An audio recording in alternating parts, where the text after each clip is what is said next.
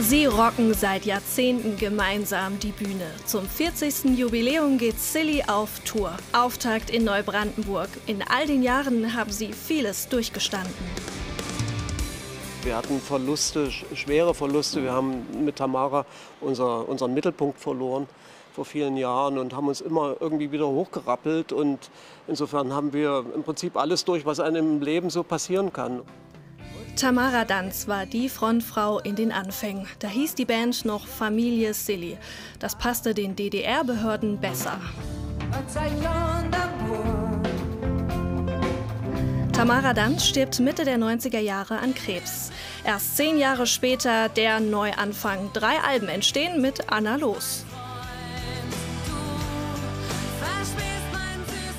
Seit einem Jahr gehen sie getrennte Wege. Für die Jubiläumstour sind zwei prominente Gastsängerinnen dabei. Eine davon, Anna R., ehemals Rosenstolz.